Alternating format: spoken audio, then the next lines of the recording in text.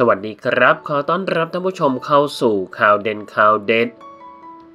รบแล้วพ่อเลี้ยงแม่แท้ๆขังลูกไว้ในห้อง จากกรณีเมื่อวันที่ 23 กุมภาพันธ์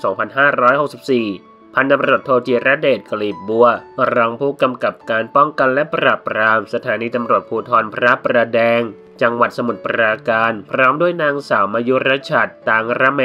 นักสังคมสงเคราะห์บ้านพักเด็กและครอบครัวจังหวัดสมุทรปราการ นายสมปองรัศมิทัศน์กำนันตำบลบางยอ และเจ้าหน้าที่อบตบางยออำเภอพระประแดงจังหวัดสมุทรปราการ ร่วมกันเข้าตรวจสอบห้องเช่า หลังชาวบ้านแจ้งว่าเด็กสองคนถูกขังไว้ในห้อง เมื่อเจ้าหน้าที่ไปถึงห้อง พบประตูห้องปิดล็อก มีเด็กชายโผล่หน้าออกมาทางหน้าต่างบานเกรดสภาพอิดโรย เจ้าหน้าที่จึงตัดสินใจพังประตูเข้าไปช่วยเหลือ พบเด็กชายเอนามสมมุติอายุ5ขวบกำลังดูแลน้อง 8 เดือนนอนหลับอยู่ในเปลสภาพหิวโซ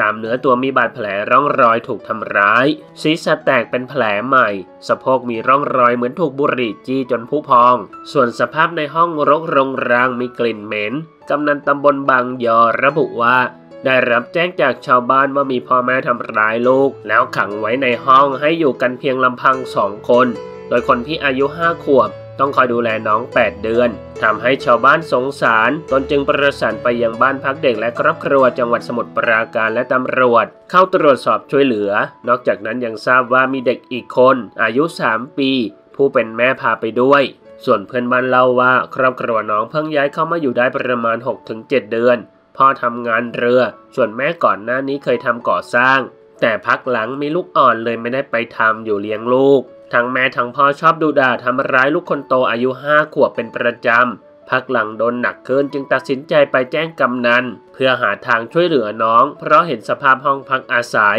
และสภาพครอบครัวแล้วน่าสงสารตามที่เห็นเมืองต้นเจ้าหน้าที่บ้านพักเด็กรับตัวเด็กทั้งสองคนไปตรวจร่างกาย และดูแลชั่วคราว เนื่องจากเห็นว่าสภาพห้องพักไม่ถูกสุขลักษณะมีกลิ่นเหม็น และความสะอาดไม่เพียงพอ เป็นอันตรายกับเด็กทั้งสองคน ซึ่งคนหนึ่งยังถือว่าเป็นทารกอยู่ ส่วนพ่อแม่เด็กเจ้าหน้าที่ตำรวจจะติดตามตัวมาสอบปากคำเพิ่มเติม และรวมกับเจ้าหน้าที่บ้านพักเด็กตรวจสอบว่า สามารถดูแลเลี้ยงลูกได้หรือไม่ เพื่อดำเนินการตามกฎหมายต่อไป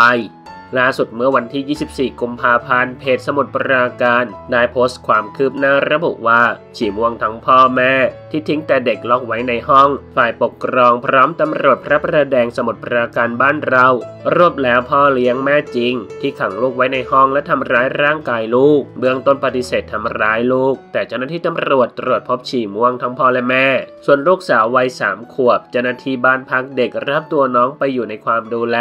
ลูกยังเล็กอยู่เห็นแล้วสงสารจับใจจริง ๆ ครับ ท่านผู้ชมล่ะครับ มีความคิดเห็นอย่างไรกับเรื่องนี้ลองแสดงความคิดเห็นกันเข้ามาดูนะครับ ขอขอบคุณข้อมูลจากมุมข่าวขอบคุณครับ